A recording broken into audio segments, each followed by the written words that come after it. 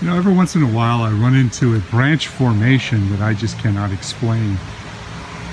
Now, the way this branch has grown and suddenly gone straight back up, it looks like there might have been an old wound of some sort there, but maybe not. There's definitely something was cut off down low.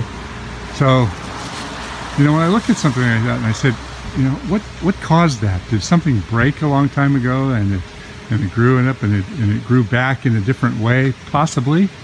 Um, this, uh, this is kind of an interesting tree, this old sycamore tree. It's a, a native sycamore, the Platanus racemosa. And it's right next to a creek, and there's a lot of old native sycamores around here. And this grand old tree, as well as this one right here, used to have this whole area for a root zone. And now it's a parking lot.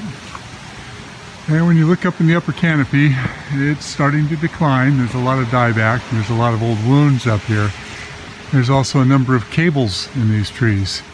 Interestingly, there's a cable that goes from this tree to this tree. So I don't know what made them think that that little branch up there could hold up all that weight on that side. But whoever made that decision, I think, made a huge mistake. There's a, a cable over here that goes from that branch to this branch, and one from this branch over to that branch. And that is based upon a fairly large area of decay up here. And I see plants growing inside that cavity up there. So that means there's enough decent dirt in that cavity to uh, to recognize that it is weak. So whether or not those cables are sufficient is anybody's guess. But I'm, I'm still perplexed about this. Every time I drive by this, I think, what caused that? Why did that do that? I don't know. You tell me. What, what do you think caused this? You see the way it grows. You can see that it grows here and grows back up. There's a wound down here. And that could be anything. That could have been just a branch that broke off a long time ago. But it, it's just such an odd configuration in the way it grows.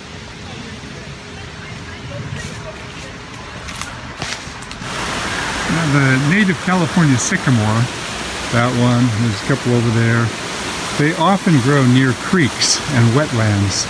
So at one time, when this creek used to flood, it would flood this parkland out here. And this was, uh, this is more of a floodplain. So they're quite old. These trees have been here for uh, I'd say at least 100 years. I know the park has been in existence for a long time and these are original park trees. And there's a couple more big ones right up over here. Interestingly, these trees are often hollow. Let's go see if we can find a hollow in one of these trees. These are some really significant trees. They're well over 80 or 90 feet tall, but they've got really big fat trunks down near the base. And very clear somebody injured this at one time. Maybe they ran into it with a tractor. Sometimes I'm surprised about the the abuse that trees end up getting sub subjected to through carelessness. And sometimes, oh, look at this. now that's just rude. Couldn't they have put a signpost in here? Why did they have to nail it to the tree? Uh, anyway, long and the short of it, uh, this tree actually looks pretty good. Let's go look at another one, see if I can find a hollow. There we got an old wound in here. Let's see how deep that goes. I'm not going to reach my hand in there, but who knows what lives in there. So there's an example of a hollow that's grown up and around. Oh, here's another one. That one's not too deep, but now this is a bad sign, unless somebody just set this up here. Nope, it looks like it's cut. Sometimes if you have areas of uh, buildup of decay and, and dirt, you'll get plants that are growing down there and the, the roots that get down in between these big trunks is an indicator of how deep the decay goes. These are our local native California sycamores. These actually look pretty good. And we got a nice big bay out here.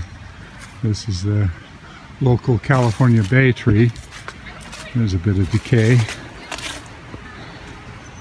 They call this myrtle wood up in Oregon. And we've got another sycamore there. Another magnificent sycamore here.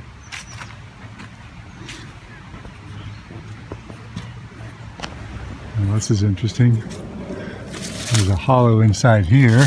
And it goes down all the way to the ground. And somebody thought it'd be a good idea to put that over there. There's a playground here, so maybe they opted to do that to keep kids from climbing in there.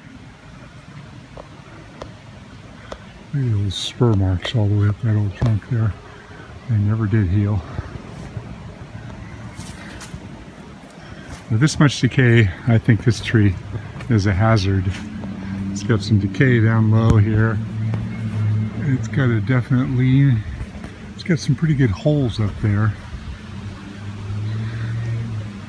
And it's in a park. So they have to make some decisions about these potential hazards in public areas.